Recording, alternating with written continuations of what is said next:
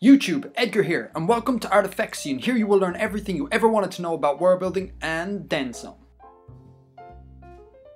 In this episode, let's look at the life cycle of a supermassive star. A supermassive star is any star with a mass of at least 9 times that of our own sun. Like before, a supermassive star will start life as a giant molecular cloud. Gravity will cause the cloud to collapse forming a protostar and eventually with enough heat, the star will begin nuclear fusion. The only difference is that in order to form a massive star, the initial cloud must also be very massive. Due to their mass, very large stars will have a very large fuel supply, but gravity's crushing pressure will force a star to burn through its fuel supply very rapidly. So supermassive stars tend to live fast and die young. The star will begin by simultaneously fusing hydrogen and helium for a few million years. Once all the fuel is run out, it will then for the next few thousand years fuse carbon into neon, then neon into oxygen for about a single year, then oxygen into silicon for a few months, and lastly silicon is converted into iron in only 3 to 5 days.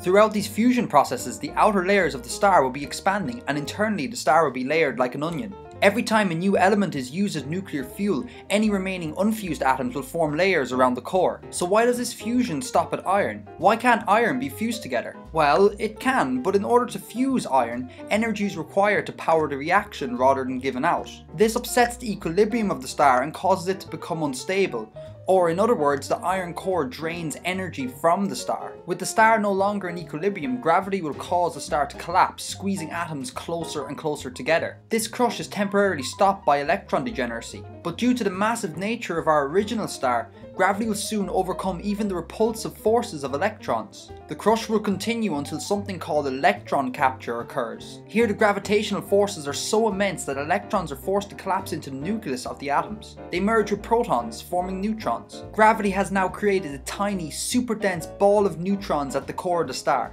This core of neutrons stabilizes because of neutron degeneracy, gravity stops its crush and equilibrium is created. However, the collapse of the star's core into a ball of neutrons releases an enormous amount of energy outward in the form of neutrinos.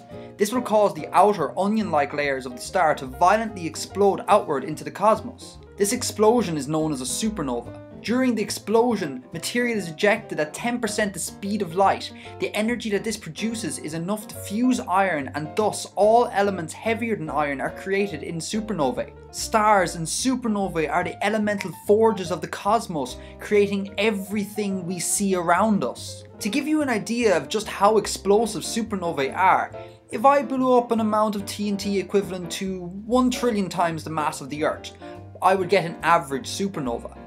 Supernova 2006 GY, the largest ever recorded, was produced when a star 150 to 200 times the mass of our own sun exploded. Making a TNT analogy here is futile.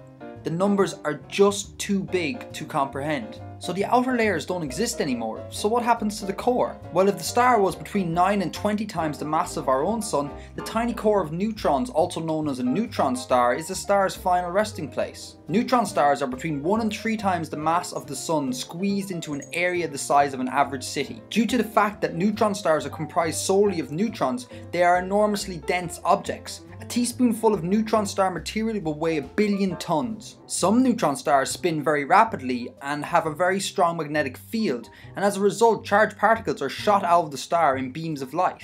When this occurs the object is known not as a neutron star but rather a pulsar.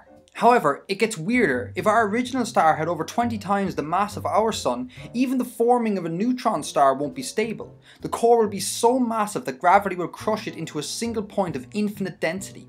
This singularity is known as a black hole. Nothing can escape the gravitational pull of a black hole, not even light. So stars are kind of like celebrities. The brown dwarf is an object that had its 15 minutes of fame but faded to obscurity and lost its celebrity status. A low-mass sun-like star is the Morgan Freeman of the cosmos, seemingly going on forever and reliably remaining constant throughout its life. Finally, supermassive stars are the celestial rock stars. They live fast and die young and go out with a bang. But more importantly, their legacy will inspire the next generation to also strive for stardom. So there you have it, the life cycle of a celestial rock star. Guys, like and subscribe. Thank you so much for watching. Edgar out.